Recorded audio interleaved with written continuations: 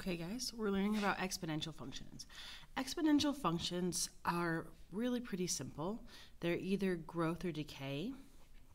And we'll talk about what that means. It's always in this form. Most of the time, they'll put parentheses around the b. Um, um, that's what you'll see. A, this number in front here that does not have the exponent on it, that is always your initial um, value. This is also your, your y-intercept.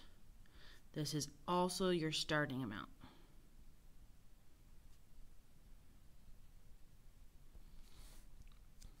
B is your rate. It's either a growth rate or a decay rate. It is always the rate. If B is bigger than 1, it's growth. If B is smaller than 1, it's a decay. X, which is your exponent up here, is almost always time. So we're going to just take a look at key features on the, on the graph and pay attention to the important parts. So the domain of this graph, you can see it has arrows on both ends. This one is going to continue to go right forever. And this one, it is going up, but if you look, it's going wider. So it is getting wider as we go. So the domain is all real numbers. Now this would be different if they have any kind of closed, any kind of circle on here that eliminates part of the graph. The range, however, is kind of special. If you look at this graph, it's coming down and it's basically flattening out at negative 1. It looks like it's touching it, but we'll talk about it on the next page that it's not actually touching it. So y has to be bigger than negative 1. It is not touching, so you cannot put the equal to. On exponential functions, you're never allowed to put the equal to on the range. Then for your y-intercept, our y-intercept is pretty simple. It's right there. It's at 2.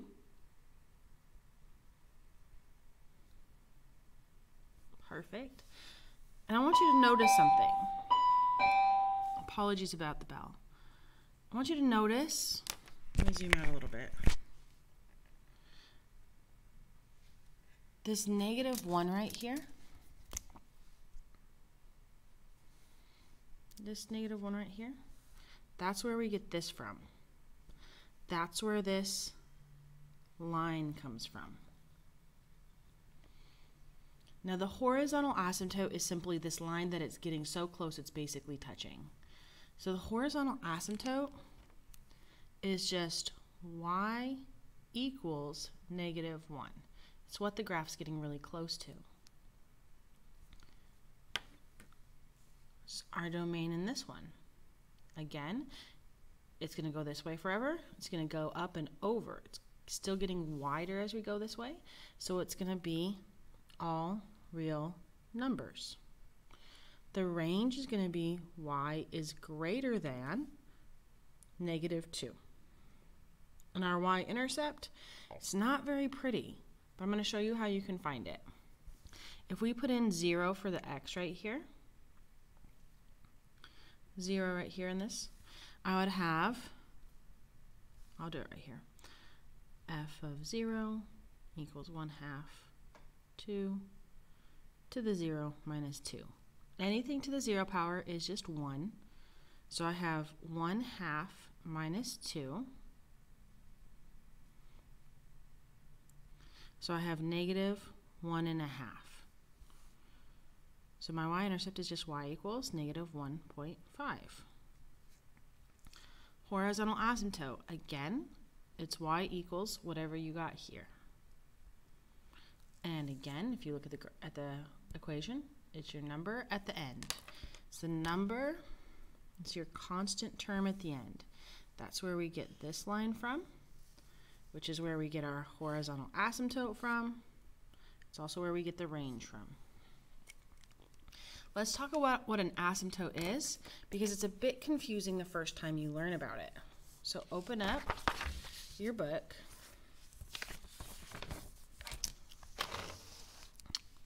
The horizontal asymptote is just a line that continually approaches um, a given curve but does not meet it at any finite distance. Basically, what is it getting close to but never touching? We're going to look at what happens. This is a decay because this is smaller than 1. So that means, you know, let's do a quick, I'm going to go back to the front for a second. The very bottom, I'm going to add growth. Growth always looks like this. Always is going up. So this one, this one would be a growth. So I'm going to label this a growth. Decay always is getting smaller to the right. So growth is increasing on the right, decay is decreasing on the right. So this one would be a decay. Growth goes up to the right, decay goes down. Back to our table. Okay, we're going to just take this equation and we're going to plug these numbers in. Now, I'm going to show you how to do this so that you understand why we're getting really, really close to the horizontal asymptote of negative 3. So I'm going to go ahead and say f of 0 is equal to 2.50 minus 3. Now, I'm going to go ahead and help you use your calculator to remind you this is function notation.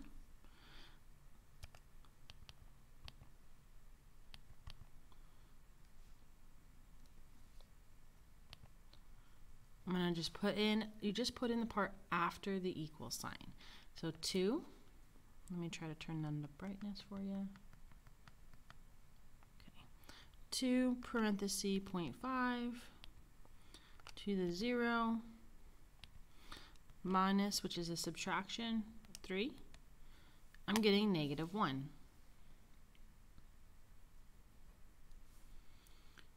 Now if you just arrow up, see how I turned it blue?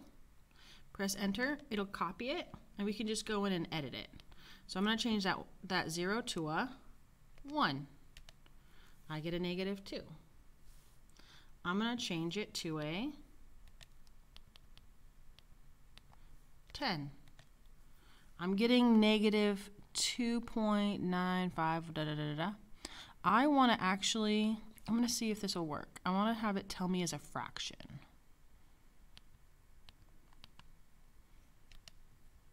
Yeah, that's worse. I'm going to go with this one. Negative 2.998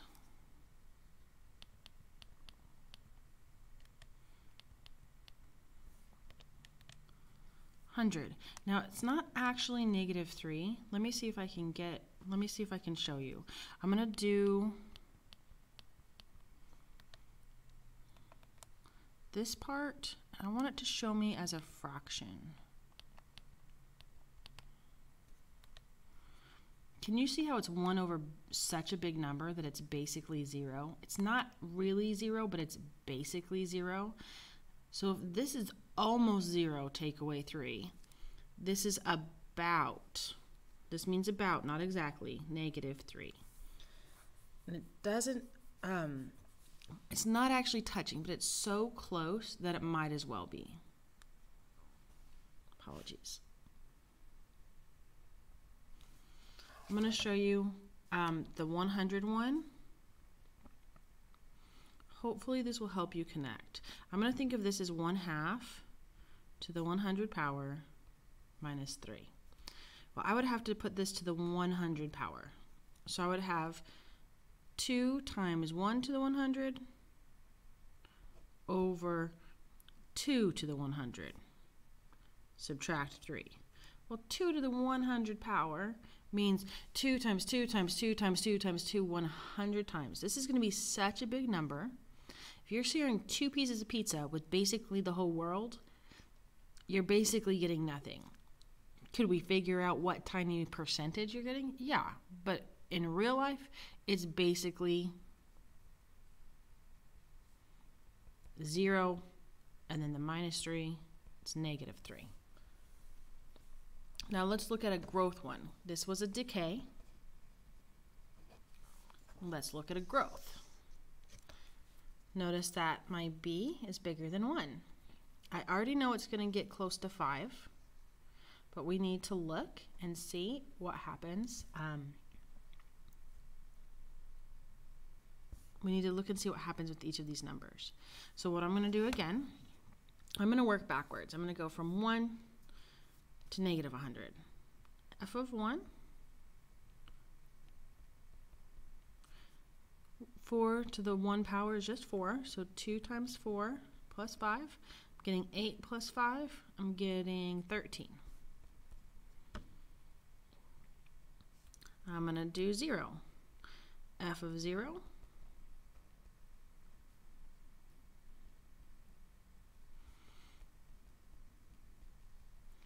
anything to the 0 is just 1.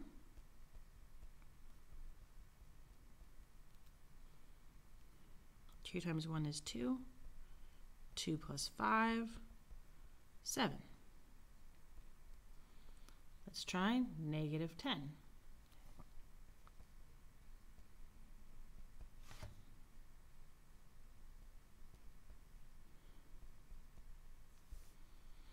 Now it's starting to get ugly. I'm going to use the calculator. 2 parentheses 4. The parentheses are, parentheses are important because it means the power is only on the 4. I'm using the negative 10. When I say negative, I mean this one. This one's subtract. You can't see. The black negative is subtract. The white negative is just a negative. And then I made sure I arrowed out of the power because I don't want it to be plus 5 up here in the power. I need to have it be plus 5 down here. Ugh. That's ugly. I want it as a fraction, so I'm going to press Control, uh, Control Enter. Hmm, it's basically 5. It's not quite exactly 5. You can see here as a fraction, it's not quite 5. But here it's basically 5. So I'm going to write this ugly fraction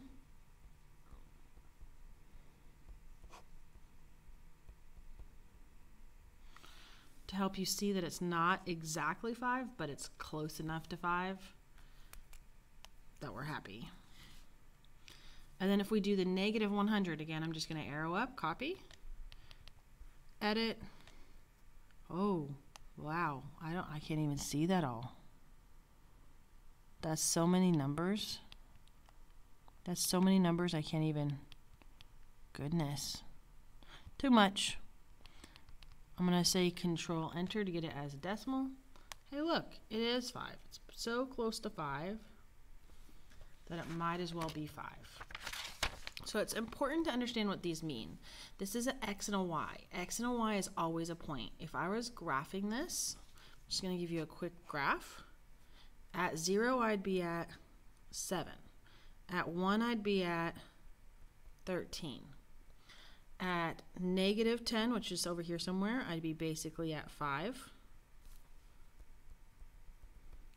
And if I keep going, so I just draw a curve that's basically on this line. It's not allowed to actually go below it. And it should be going up to the right. Now let's say that they gave me this table and told me it was an exponential function we can actually find the exponential function using this spreadsheet. We can talk about that a little bit later when we're getting ready for the STAAR. Now we're going to talk about writing the exponential equation. First thing I do is where is my y-intercept? Got a point right here. y equals 3. Next thing I do is what is my horizontal asymptote? HA for horizontal asymptote is at y equals negative 2. The equation is always A, B, X, and then whatever your horizontal asymptote goes here. I'm going to call it H just to make it easy. Plus. So, so far this is what I know. I don't know what A and B are, but I know it's going to be minus 2. I'm going to need a few more points than just this one.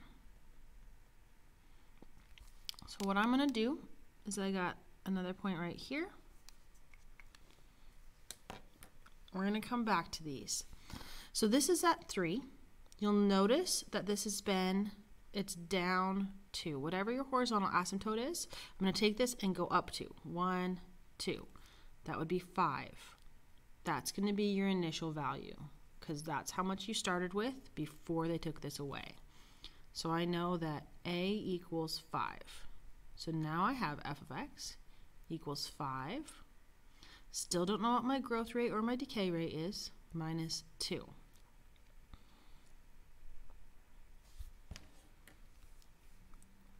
Right, now we know that if I plug in, I know I have the point negative 1 and positive 8. I know I have that. So if I plug in negative 1, I need to get 8 out. So what I'm going to do is I'm going to set up my equation.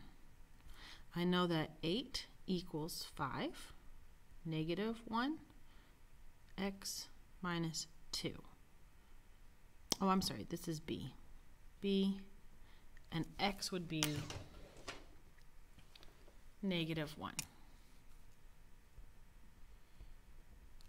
Now you should be able to just do an nSolve.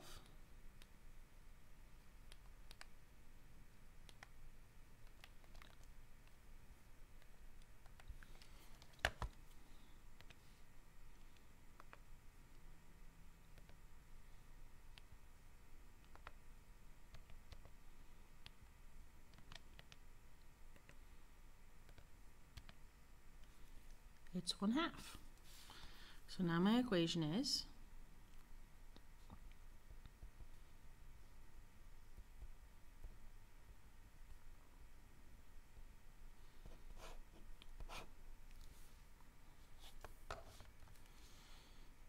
Simple enough. Now I'm going to tell you on the STAAR, it's multiple choice. I don't actually do this on the STAAR. I look at my options, graph them, and move on. See which one matches my points. It's really all I do. Okay, on this one, let's take out the key features again. I need my y-intercept. I need my horizontal asymptote. So my y-intercept is 7. My horizontal asymptote is 2. Now this has been moved up 2, so I'm going to need to take this away. To get my initial value, it's going to be my y-intercept, take away 2, and that again is 5. Need a perfect, perfect point.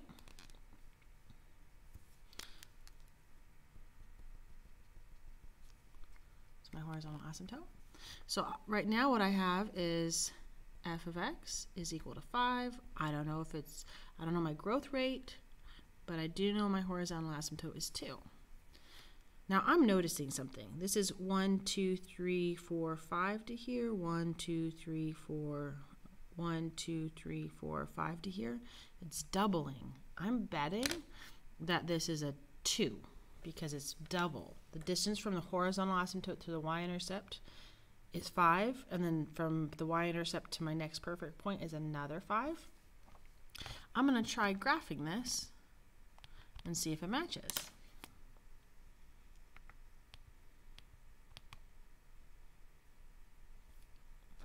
I'm using menu 3.1 and I'm just going to put it in.